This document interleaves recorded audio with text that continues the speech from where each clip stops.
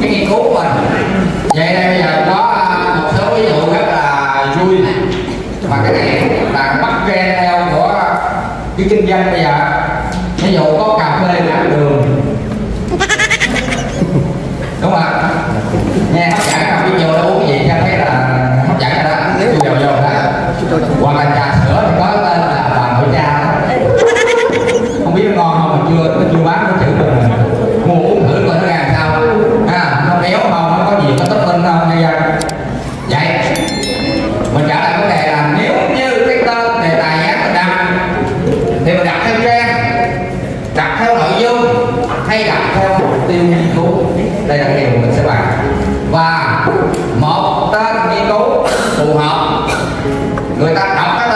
chưa cần đọc nội dung nghiên cứu mà. Người ta vẫn có thể biết được. Người ta làm gì? Mình làm gì? Và người ta muốn đọc ở nội dung nào trong nghiên cứu mình, thì mình sẽ có công thức để đặt tên cái nghiên cứu cho nó rõ đây, mình sẽ bỏ qua cái sửa nha. Đây với cô chú ý của em là muốn đặt tên một dự án nghiên cứu, hoặc tên một cái sáng kiến kinh nghiệm cũng được thì nó sẽ có ba thành tố sau đây. Và ba thành tố là bất di, bất dịch. Không thể thay đổi theo cái trình tự của chúng cái quan trọng nhất khi đặt tên đó chính là cái mục tiêu nghiên cứu phải có trong tên dự án đề tài.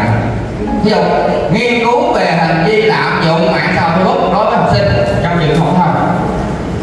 Vậy thì mục tiêu nghiên cứu mình là hành vi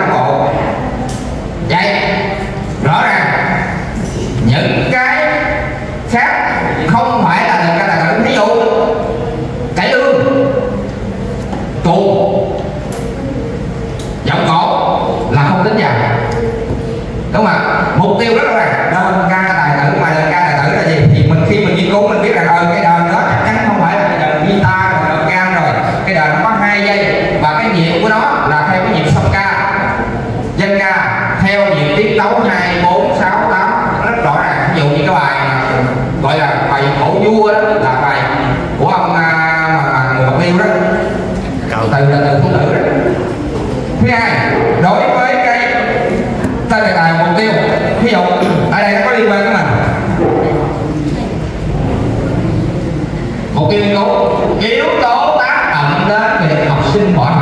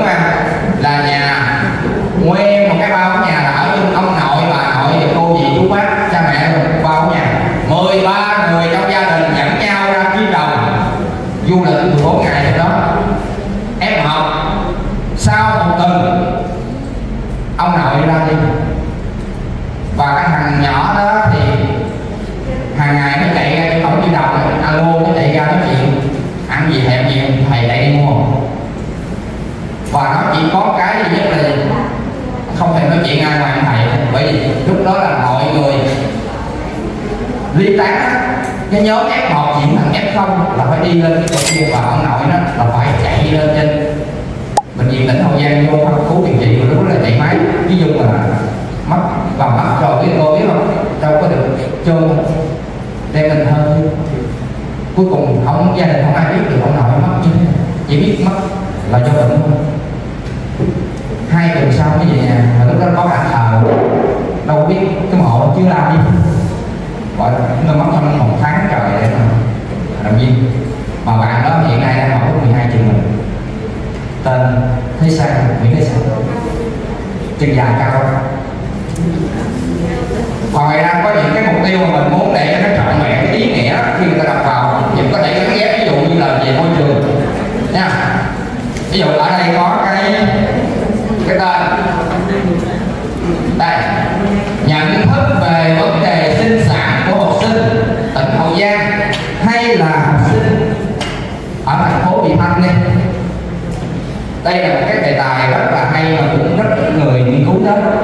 dụ chắc chắn mình biết rằng là trong cái độ tuổi mà lên cấp ba là độ tuổi bắt đầu chịu trách nhiệm.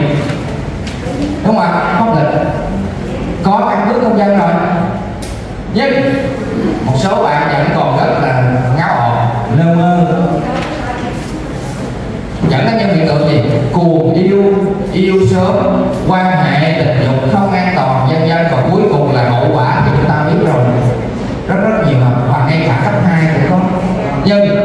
有点高嘞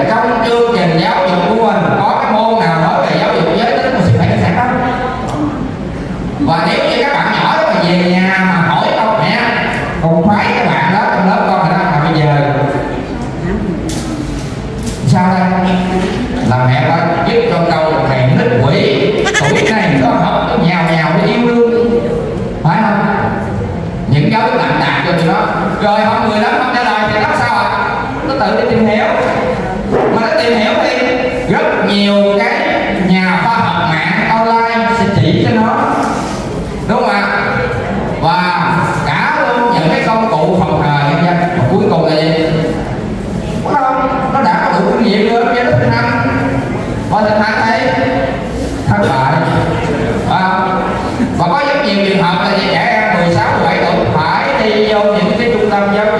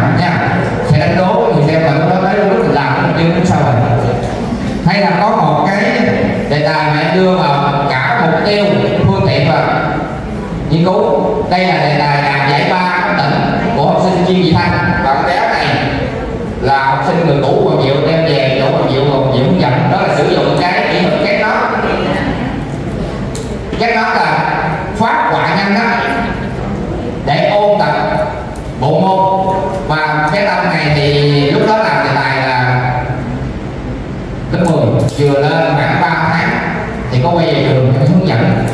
Hướng dẫn khoảng ờ, bốn mấy và cho cái đội làm tới được hai bạn thứ ba đi bằng này nhờ đội cái tâm thì cũng báo cáo. Và hiện nay thì cái sản phẩm kết nối này cũng được bên triều viên sử dụng rất nhiều nó hay môn văn và tóm đồng là dễ hơn quả công thức cũng như là những cái uh, nội dung câu từ bên uh, ngữ đó hoặc là một cái nghiên cứu sử dụng cái hệ thống học và thi trực tiếp là của trường Bình Diệu trong cái dòng covid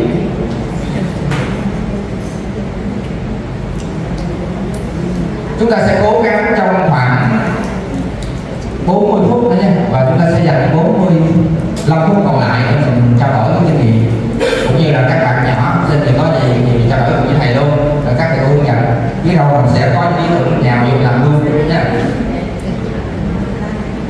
triển không bằng thằng này thường một số ờ, thầy cô. Khi viết sáng kiến, cũng thường bỏ qua, bởi vì nghĩ rằng nó không quan trọng.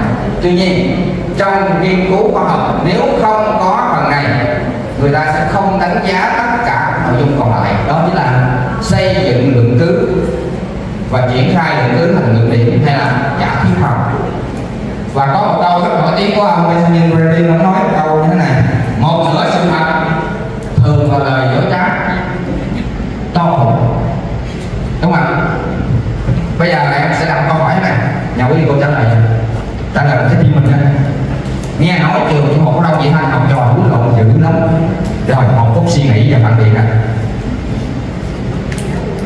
trường tiểu học phổ thông Vị Thanh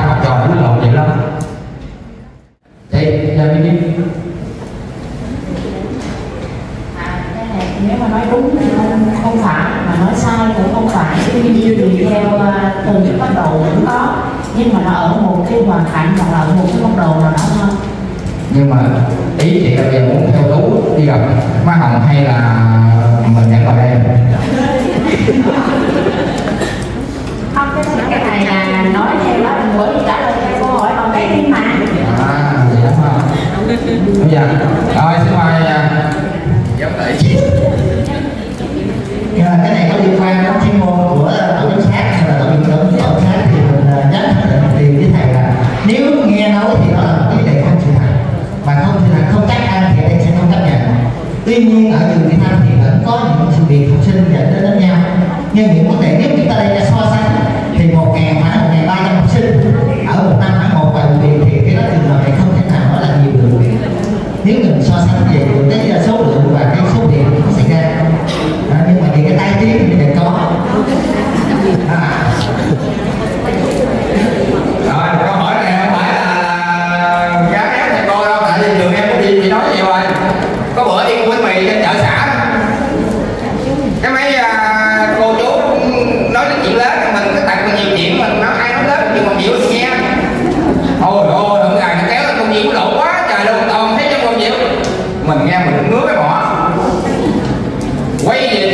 lấy sổ biên bản trường ra. Ngày tháng năm abc của chưa có cái vụ nào hết trơn. Có quýnh trong trường thì có. Vậy, vấn đề mình đưa ra là gì ạ? Mình muốn phản biện lại, hoặc mình muốn chứng minh cái vấn đề mình nghiên cứu nó đang tồn tại, đang có vấn đề. Mình phải cần có số liệu. Mình phải cần có chứng cứ để mình chứng minh vấn đề đó, đúng hay sai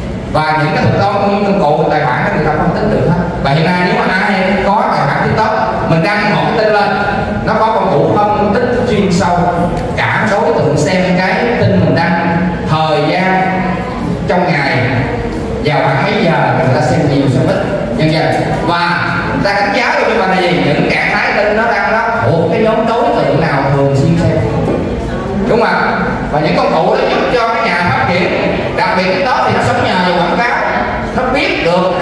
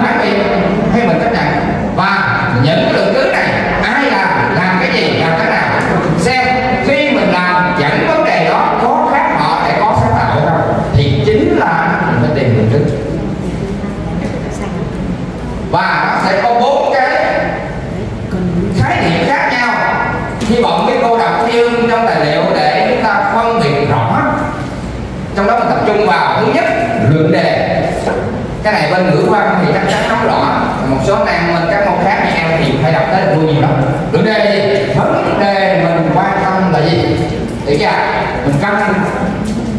Không cần thiết phải chứng minh hay không? Nghe chỗ này là quan trọng nhất là lượng cư tức là chứng cứ. Nha, mình chứng minh bằng cái gì? Số liệu, phim ảnh, hình ảnh, sách giáo khoa hay máy móc, thiết bị, quy trình diễn giải, công cụ thuyết và để có được lượng cứ thì quý thầy cô nhớ điều chúng ta phải tìm được cái lượng chính tức là chứng minh cái điều đó bằng cách nào. Ví dụ thầy thích nói học sinh phổ thông mà nếu nói mà đánh nhau thì có nhưng tần suất phải không? Đĩa điểm, rồi độ tuổi 11, 12 đó độ tuổi nào mức độ nhiều nhất chứ nói học sinh đánh nhau không bao chục vậy mình tự động cả luôn đúng chưa rồi, những sự việc đó phải thử xã hội nó có bị mang bắt mà lên rồi nó nói cái này không không có không có mà giáo kết luận trường đua gì giải mà không vậy cho mình chỉ bầu người ta luôn à hỏi học sinh của đó được không ạ vậy thì cái lượng chứng này chúng ta mình phải chứng minh bằng cách nào với dữ liệu đó với thông tin đó và khi thực hiện được mình có được cứ cụ thể ai cái gì ở đâu ông nào nói làm bằng cách nào nhân dân cuối cùng mình mới đưa ra một cái thông tin quan trọng đó là cái lượng điểm của mình đúng không ạ vậy lượng điểm này chính là gì một giả thuyết khoa học mà mình sẽ đi chứng minh xem nó đúng hay sai